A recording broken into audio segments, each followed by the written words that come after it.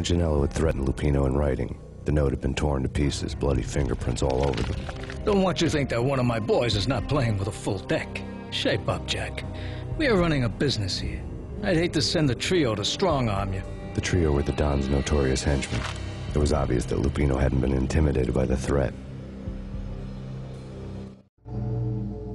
Lupino's notes covered the table. Jack Lupino was crazy, all right. The table was scattered with notes of demented arcane nonsense written in rusty blood. A mishmash list of demons, devils, and dark gods evoked. Beelzebub, Asmodeus, Baphomet, Lucifer, Loki, Cthulhu, Lilith, Hela! Blood given to you all. He was after that old Faustian deal. Your soul for power and fortune. Just sign on the dotted line with your blood. Lupino's notebook. Jack Lupino was crazy, all right. Mythic wolves, let loose to devour the sun and the moon.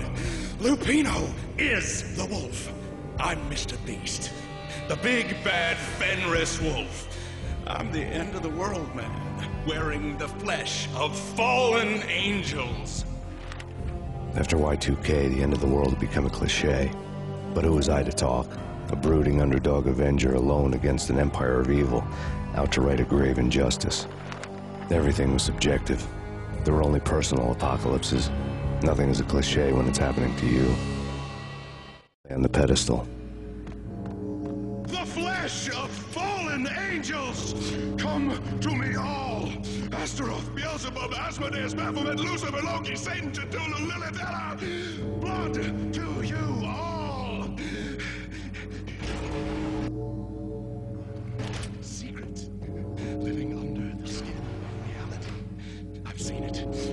corruption of flesh.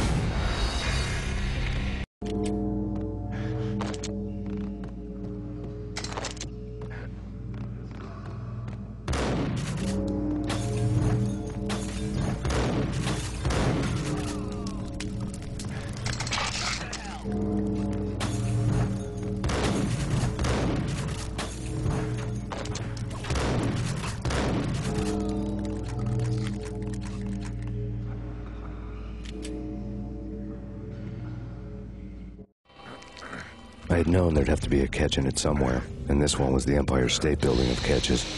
Lupino was pumped up and dying to go 15 rounds with a mutant alligator. And then he started this spooky monkey talk, straight from a bad dream. Mine. I have tasted the flesh of fallen angels. I've tasted the devil's green blood. It runs in my veins. I've seen beyond the world of skin, the architecture of blood and bow and arrow. Death is coming! She is coming, and hell follows with her. This is the twilight winter. I am ready to be her son. Her time is now, and all who stand in her way must die!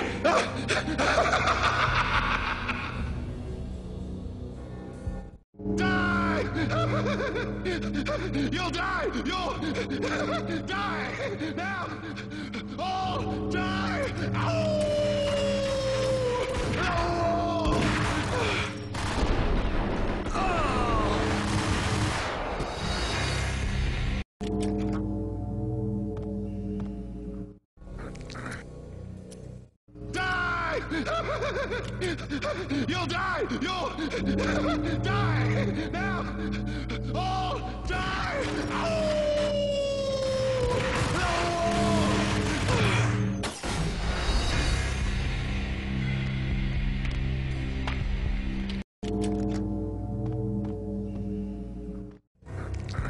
I had known there'd have to be a catch.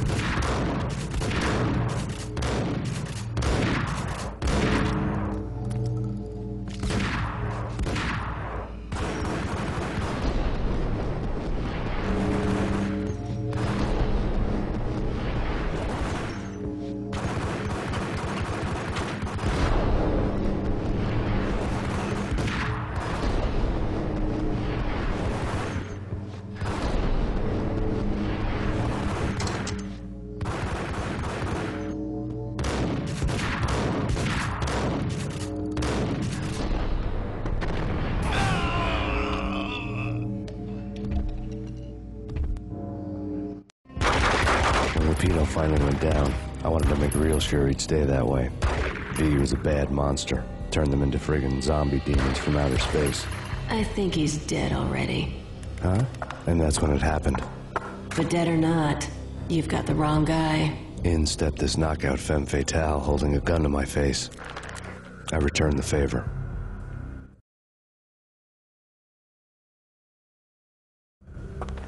Lisa Punchinello. Lisa Punchinello was the Don's wife. Mona Sax. Lisa's evil twin. Your safety's off, evil twin. You might hurt someone with that gun of yours. Lisa's the damsel in distress. I'm the professional. I'd blow you away without batting an eye. Sure, and you can check out my credentials splattered all over this joint. Jack couldn't have framed you. Not the state he was in. We're after the same slime bag.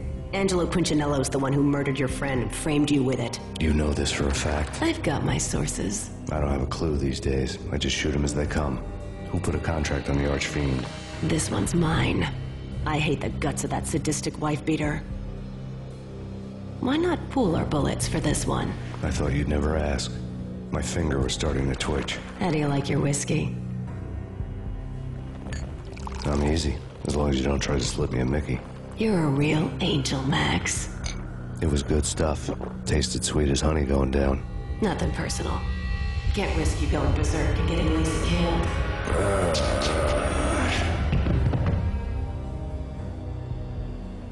The nightmare was always the same. Violent shapes moving in darkness, old and ugly. The killer's mad laughter was a riddle filled with wicked innuendo.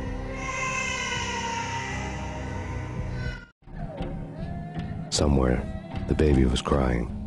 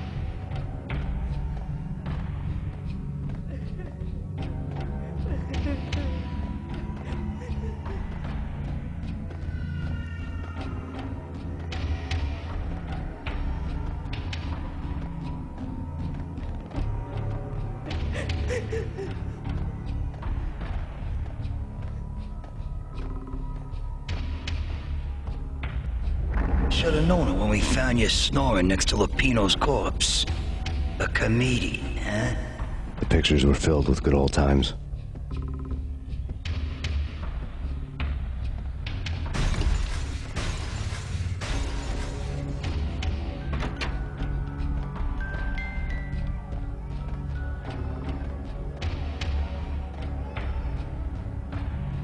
I really love to watch cartoons. Captain Baseball Bat Boy's my favorite.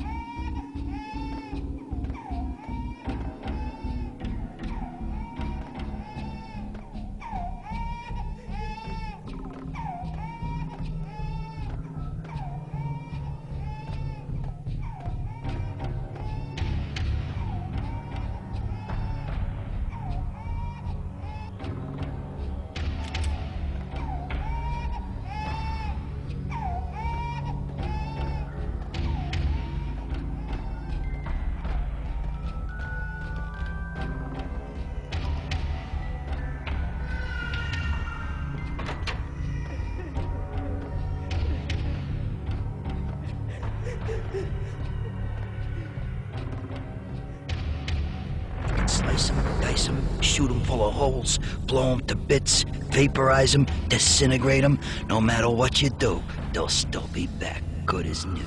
Michelle's diary lay on the table. Max, no, please, Max. Why? I didn't mean to. I'm sorry.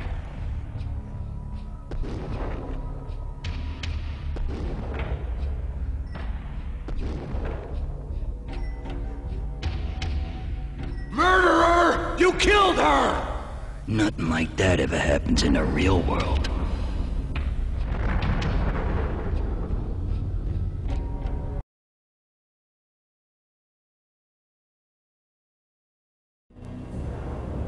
I woke up in a bad dream. My head felt two sizes too small for my brain, Max Payne, I envy your name. and the killer was smiling. Pleased to meet you. I'm Frankie the Bat Niagara. Niagara, as in you cry a lot. He had a baseball bat and I was tied to a chair. Pissing him off was the smart thing to do.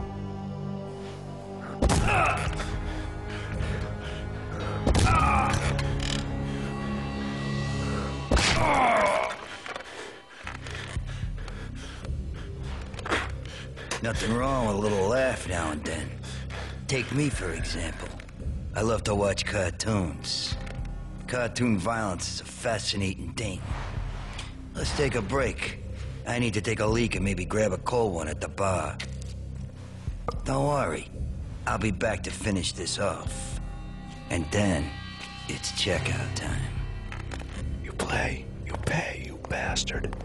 He swaggered out, and the door clanged shut behind him, locks clicking into place. Everyone makes mistakes. Mine hadn't been to crack jokes about the goon with the bat. He'd have cracked my skull regardless.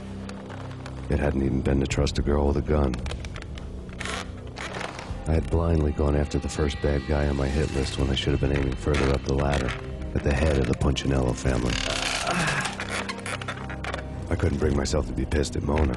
Guess I had a soft spot for pretty face.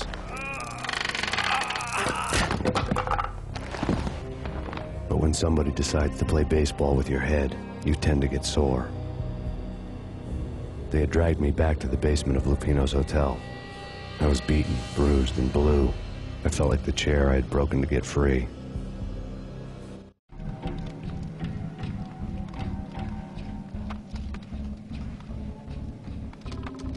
All I had was Niagara's bat, sticky with my own blood.